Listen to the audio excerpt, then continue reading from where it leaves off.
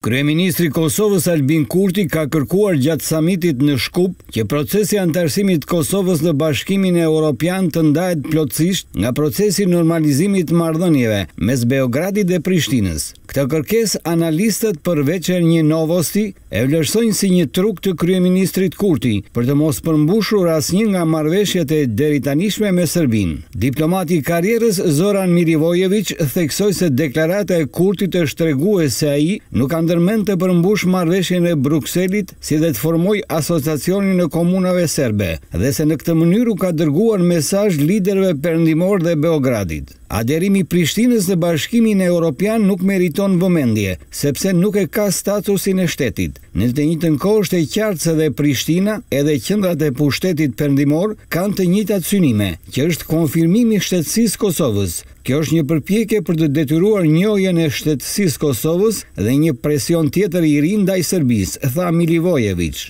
Nga ana tjetër, profesori i Fakultetit të Shkencave Politike, Milan Kërstiç, theksoi se Kurti më së shumti do të donte të hynte në Bashkimin Europian pa përmbushur asgjë nga ato që u ka premtuar serbëve.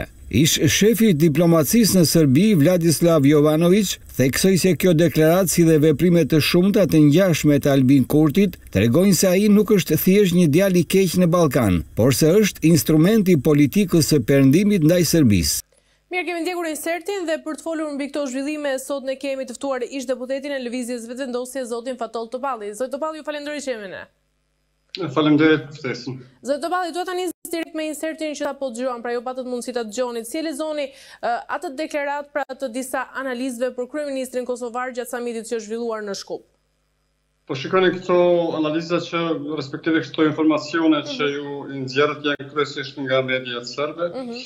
dhe mendoj që pretendimet e tyre janë, janë të tilla, kjo mendoj që nuk qëndron fakti që zoti Kurti nuk po dëshiron me i mhm. përmbushë sepse ka një dakordim ekziston marrëveshja e Brukselit dhe pastaj ekziston edhe marrëveshja e Ohrit ku zoti Kurti ka pranuar që asociacioni të krijohet. Kjo është, dmth qëndrimi i palës serbe, ajo që mu m'duket është nuk e edhe nuk e kuptoj pse është thënë fare nga zoti Kurti që duhet nda procesi i hyrjes në Bashkimin Evropian me procesin e dialogut me Serbinë sepse pavarësisht Kosovës, duke pas parasysh edhe hyrjen e Sllovenisë në Bashkimin Evropian, Kroacisë, Hungarisë më vonë, është një qëndrim i përhershëm i Bashkimit Evropian, i cili thotë që askush nuk mund të hyjë në Bashkimin Evropian pa i rregulluar çështjet e veta me fqinjtë. Pra, kjo nuk është një kërkesë e veçantë që i shtrohet Kosovës apo që i shtrohet Serbisë, po është një qëndrim i njohur shumë më herët i Bashkimit Evropian, prandaj Unë them, nuk e di nëse kjo është bërë nga mosnjohja apo ndoshta është bërë edhe thjesht për për efekte për efekte kështu propagandistike për për për për anëtarët e partisë e kështu me radhë, po ky qëndrim i Bashkimit Evropian nuk është i ri, është një qëndrim shumë i mhm. vjetër, parimor, i njohur dhe kjo vlen siç vlen për Kosovën, ashtu vlen edhe për Serbinë. Që Bashkimi Evropian me gjasë e njeh Kosovën dhe vetë fakti që janë duke u zhvilluar Diskutimet, pra edhe procesi i Berlinit, takimet e rregullta kanë gjithë kanë për qëllim që këto që rajoni të hyjnë të hyjnë në Bashkimin Evropian.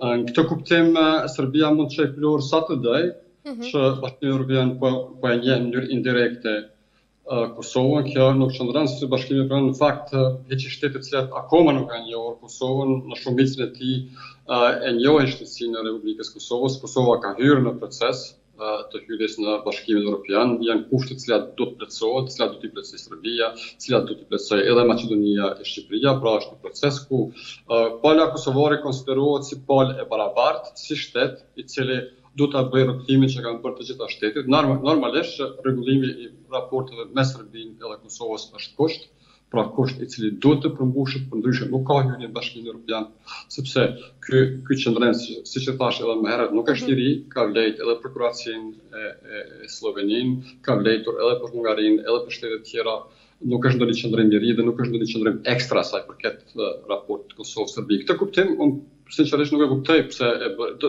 pse e bëri këtë deklaratë zoti Kurti, sepse kjo nuk ka të bëjë vetëm me Kosovën. Pra po flasim për parimet e përgjithshme. Ata mm -hmm. shtetet që dëshirojnë të hyjnë në Bashkimin Evropian duan duhet të njohin këto parime. Unë mendoj që pas kësaj deklarate edhe zëdhënësi i Bashkimit Evropian duke e deklaruar që e, e tha që ky është një kusht i cili ka vlejt për shtetet që janë anëtarësuar më herët dhe vlen edhe për Kosovën edhe Serbinë dhe të dy vendet Nuk kanë rrugë tjetër pos për të gjetur një zgjidhje e cila i bën të kënaqura të dy palët.